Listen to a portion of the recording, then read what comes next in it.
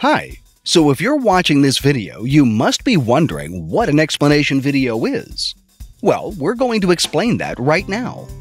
Let's take us for example, the Cuillin Collective. We need to explain to you what an explanation video is. Well, first of all, let's meet Marc and Ailsa. They have a media business called, you guessed it, the Cuillin Collective. They build websites and make videos there, but they don't know how to explain that to their customers. Uh oh.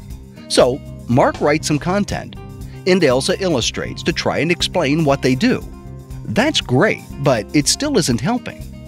Their customer arrives at their site and thinks, wow, what a well designed and developed site. However, what exactly do they do and how can they help me? Well, not very much if they can't explain it. Although content is king for being found, they want to keep their customers on their site and to commission them to work with them. And that's what any business owner wants.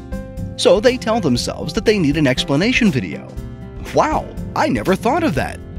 Let's make one ourselves.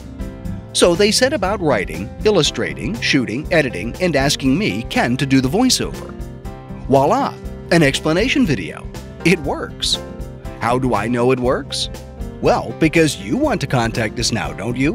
So if you want your very own explanation video, then why not contact us today where Marc or Ailsa will be happy to talk you through your options.